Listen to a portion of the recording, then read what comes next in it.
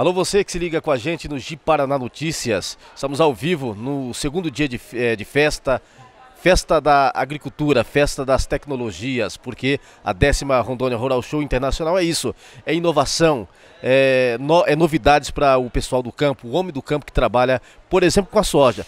Eu estou aqui com o Rodrigo Brogin, que ele é o pesquisador da Embrapa Soja aqui no estado de Rondônia. Ele vai falar para a gente sobre é, desenvolvimento, melhoramento é, das cultivares de soja aqui para o estado de Rondônia. O Rodrigo me falava, né, Rodrigo, que cada região do estado tem sua realidade, sua particularidade. Você atua a partir de Vilhena. Como é que é feito esse trabalho lá e para o restante do estado? É, então, nós, o nosso programa de melhoramento de soja é nacional, né? E um dos braços desse programa de melhoramento é aqui no estado de Rondônia. Né? Então, nós, a nossa base é o campo experimental de Vilhena, né? nessa parceria que nós temos entre a Embrapa Soja e a Embrapa Rondônia.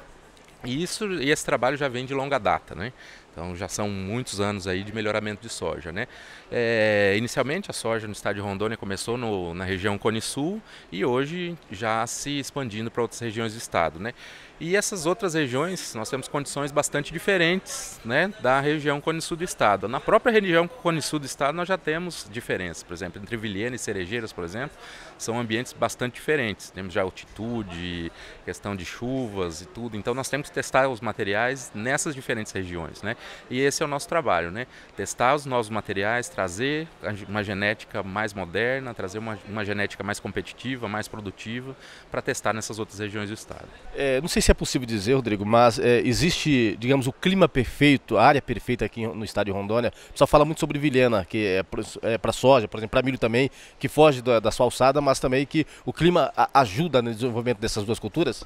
Ajuda, com certeza, né? Nós temos clima, né? Nós precisamos disso para produzir bem, né? E inclusive nós temos trabalhos científicos comprovando que os, os locais mais seguros no país para se produzir soja, milho, é o estado de Mato Grosso o estado de Rondônia, né? Então nós estamos realmente num dos melhores lugares do país. É, ao longo desses 19 anos que você atua aqui no estado de Rondônia, o que, que você percebeu do crescimento da soja, é, a partir do melhoramento, da, da questão também é, da, da, rentabilidade aqui no estado de Rondônia?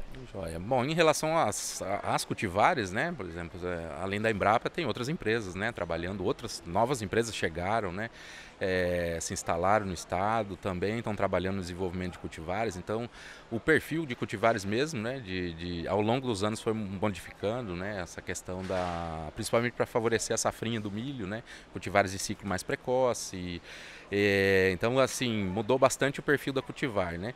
E também nós estamos vivendo uma outra, uma outra fase de aumento de rendimento, né? Então, até pouco tempo atrás, a gente falava de materiais de 60, 70 sacos. Hoje já está se falando de materiais de 90 sacos por hectare, né?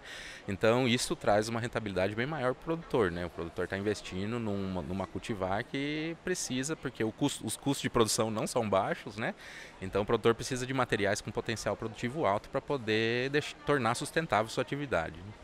Apesar de, de, a gente falar de, dessas novidades, né, de coisa boa, números bons aqui para o estado de Rondônia, mas ainda o estado está engateando na soja. Há muito que crescer ainda, né? Sim, tem, sim. O estado tem um grande potencial para crescimento né, da cultura da soja. É, nós estamos ao lado do vizinho ali com 12 milhões de hectares, né? Então nós somos aqui em torno de 500 mil hectares de soja no estado. Então temos muito trabalho pela frente ainda.